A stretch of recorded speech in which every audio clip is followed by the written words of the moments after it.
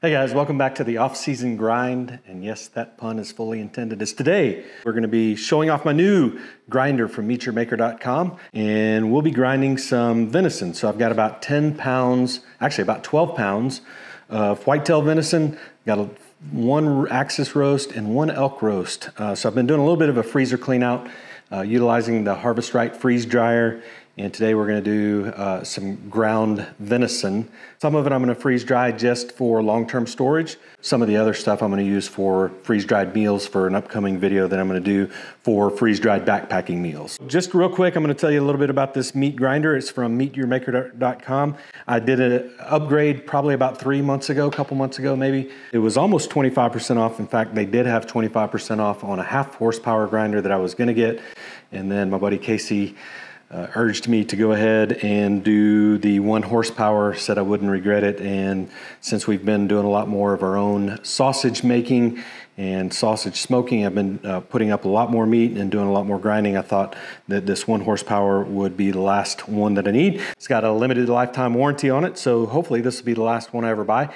In fact, uh, one of the things I'll point out is I also bought a uh, couple of different scales from uh, meatyourmaker.com. And uh, one of the scales, uh, one of the function buttons is not working correctly. So I actually called them up this morning. They did a little quick diagnostic on it, and then they're shipping me a new one today, in fact. Meanwhile, I'm using the smaller scale, and this is the one I've been using for my Harvest Right uh, freeze drying stuff. It's a smaller scale scale. So I'm just doing it in smaller batches to get the appropriate weights. Okay, now that I've got trans the meat transferred to the appropriate bowl and I can utilize my smaller lug for the, uh, the ground meat, we're gonna go ahead and get this thing started and I'm not gonna uh, make you go through this with me and listen to the grinding noise and all of that stuff, but trust me when I say it's gonna be a short process.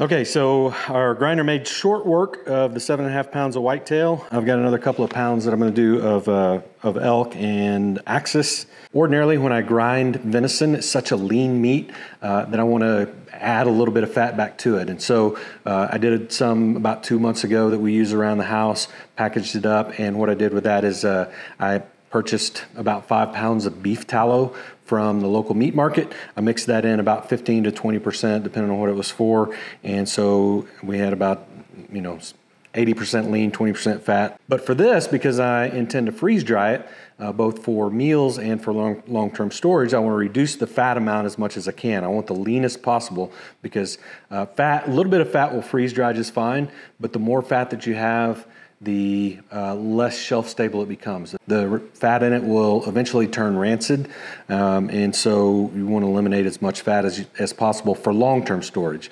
Now, for shorter term, medium term, even up to five years, you can get away with just a little bit of fat. Probably could get away with that 80 20 blend, but for this, I want it to be able to last as long as possible, so I want it as, as lean as possible. And we'll talk a little bit more about that as we cook it and start freeze drying it. All right, so I finished grinding up the meat. Ended up with about seven and a half pounds of whitetail.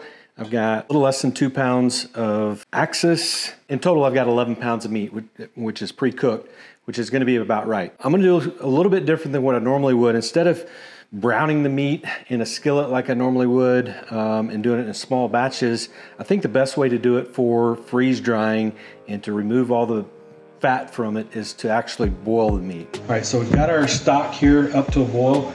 And I don't want to boil it long. Uh, I just want to put it in there just long enough to get the pink out of the meat, which is only going to be just a few minutes. Uh, once it get all that pink out of there and it's it's cooked through, I'm just going to turn the heat off and then I'm going to let it sit in in that warm water. And what that warm water will do is it'll get the rest of that fat out of there. I'll put it in the refrigerator uh, for a couple of hours and that fat will rise to the top and then we can remove that flat fat layer and make sure we've got all the fat out of it. In a couple of minutes, you can see that we got all the pink out of the meat and the meat is good. Now, one other thing that boiling will do is it actually breaks the uh, meat up into finer grains and instead of being as clumpy as you get sometimes. So for some dishes that's good, for others it's bad. But for freeze drying, I think it's gonna work out really well. It's gonna be a little bit smaller, have larger surface area, and should freeze dry more quickly. Well, I went ahead and let the meat cool down and then I put it in the refrigerator overnight so here we are the next day and I pulled it out of the refrigerator and who knew? Uh, venison is very lean. There's actually no fat layer at all on uh, the surface of the, the stock that we had in there. I'm gonna go ahead and divide this up into the trays for the freeze dryer. I'll probably make three equal trays and then I'll probably actually go ahead and put the remaining stock back in one of the other trays and we'll reuse that because it should get some additional flavor in that stock. We only boiled it for just a couple of minutes. I'll uh, freeze dry that stock and make actually a kind of a bone stock powder that I may put in with this when I package it and that'll add that flavor back to it when you reconstitute it. So anyway, I'm gonna go ahead and get it prepared for the freezer and then the freeze dryer and we'll be back after we get all of that done to wrap it up.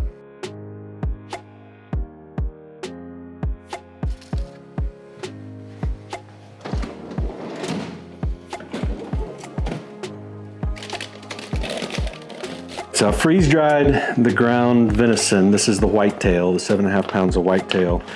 And I've got it packaged up here and then I remembered I wanted to go ahead and film this. So I'm gonna pour just a little bit out of it out just to show you what it looks like when it's uh, freeze dried. You can see it's kind of, it's very crumbly, uh, almost like spongy styrofoam.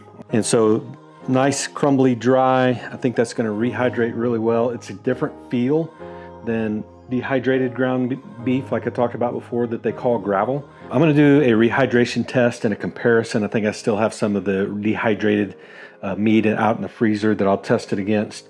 So we'll do a little bit of a comparison there, but I'm gonna go ahead and get this uh, packaged up, put oxygen absorber in it. I've got three packages of this and right at 780 grams, I believe. So just by comparison, if you were to take a look at the Mountain House number 10 can, I believe of their ground beef is right at 800 grams of product, so very similar. And I checked earlier online and it's re currently retailing, the cheapest I could find it is like $69, so right at $70 for um, that. So by comparison, this, of course, wasn't free, but it's uh, free doing a little freezer clean out. Some of this was, uh, you know, 2021, 2020. I think I had a uh, bottom round that was from 2020. It was kind of at the end of its life in the freezer and trying to extend the life of it beyond uh, what it will be in the freezer. Let me know if you have any questions down at the comment section below. If there's something you'd like to see me freeze dry or try out, and I'll look forward to seeing you on the next video.